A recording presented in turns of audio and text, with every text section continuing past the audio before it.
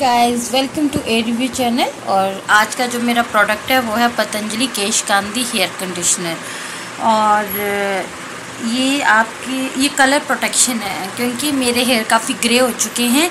तो मैंने एग्जैक्टली बहुत सारा प्रोडक्ट मंगाए थे पतंजलि के। बल्क में प्रोडक्ट मंगवाए थे, चार पाँच हेयर कंडीशनर थे शैम्पूज थे क्रीम्स थी।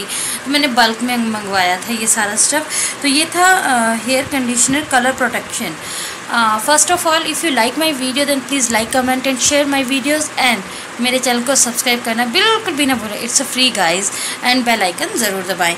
ये है कलर प्रोटेक्शन जब आप कलर करते हो हेयर कलर मेरे हेयर बहुत ज़्यादा ग्रे हो गए थे जिसकी वजह से मैंने हिना छोड़ के डायरेक्ट हेयर कलर करना शुरू कर दिया बट आप जब हेयर कलर यूज़ करते हो तो आप कोई भी शैम्पू वैम्पू बहुत ज़्यादा यूज़ करते हो तो आपका कलर जो होता है, वो फेड हो जाता है और आपके जो ग्रे हेयर्स होते हैं, वो दोबारा आ जाते हैं। मेरे साथ भी वैसे हुआ। फिर मैंने ये कलर प्रोटेक्शन मंगवाया जो कि पतंजलि का था एज़ यूजल तो मुझे आई कैचिंग लगा, क्योंकि ये आयुर्वेदिक प्रोडक्ट है।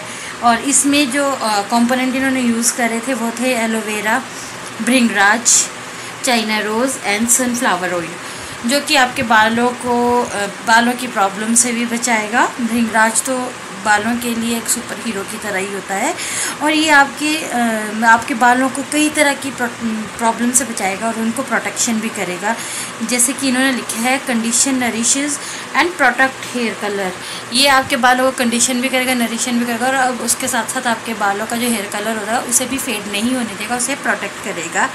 अब प्रोडक्ट ऑफ़ पतंजलि आयुर्वेद ये आयुर्वेद पतंजलि आयुर्वेदा का एक प्रोडक्ट है। और, इसके जो मेन इंग्रेडिएंट हैं, वो है घृत कुमारी गेहूँ का तेल, सूर्यमुखी का तेल, भृंगराज और गुड़हल ये जितने भी सारे इन्होंने कंपोनेंट यूज़ किए हैं, वो सारे आयुर्वेदिक हैं, आपके बालों के लिए सेफ़ हैं. इसीलिए मेन मैंने जितने भी पतंजलि के प्रोडक्ट यूज़ किए, उनमें सब, में से एक बड़ी बात मैंने ये देखी है कि वो सारे आपके हेयर के लिए सेफ़ हैं आलमोस्ट अगर उनसे आपको कोई बेनिफिट नहीं होगा तो आपको कोई नुकसान भी नहीं होगा.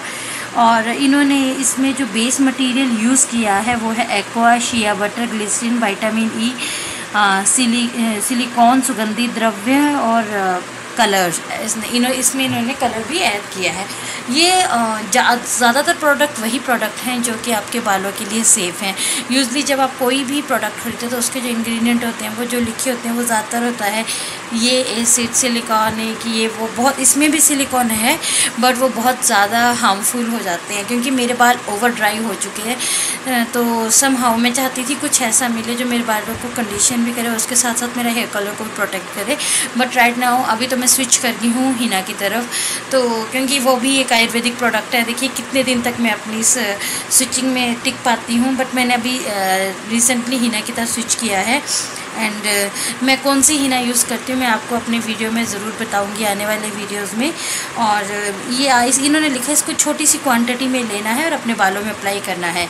मेरे हेयर्स में छोटी सी क्वांटिटी में नहीं लगता क्योंकि मेरे हेयर ओवर ड्राई है तो मुझे थोड़ा ज़्यादा लेना पड़ता है जिससे बाकियों को बस इतना सा लगता है तो मुझे इतना सा लगेगा क्योंकि मेरे बाल बहुत ड्राई है मुझे डबल लगता है।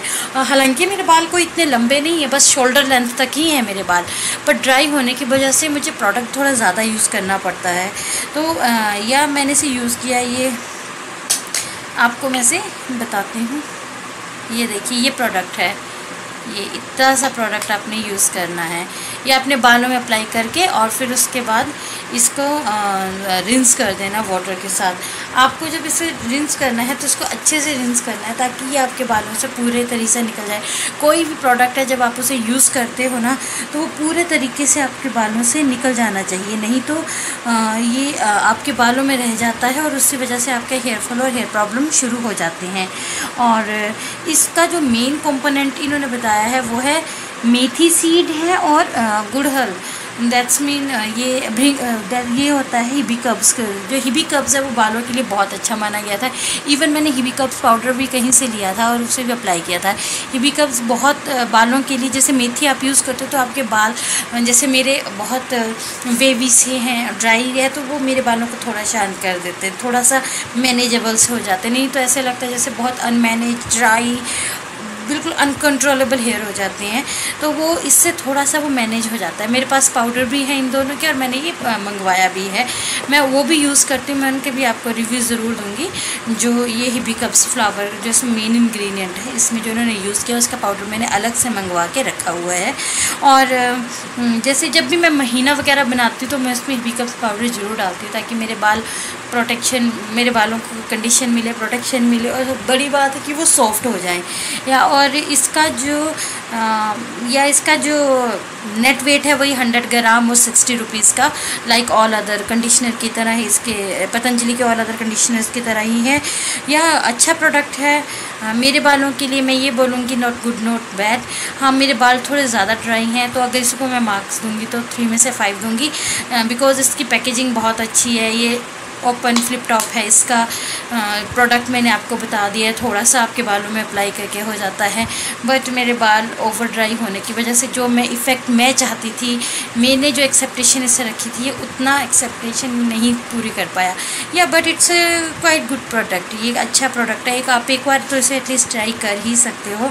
बट या हाँ ये नहीं आप फील कर सकते कि आपके बालों में कोई नरिश बहुत ज़्यादा सो, सिल्की सिल्की तो क्या फ्लैट तो नहीं, मेरे बाल कभी स्ट्रेट तो नहीं हो सकते, बट बहुत ज़्यादा मैनेजेबल नहीं हुए, वो थोड़ा थोड़ा कम ही, जितना मैंने एक्सपेक्ट किया था, उतना तो नहीं हो पाया, yeah but it's a good product overall okay thank you bye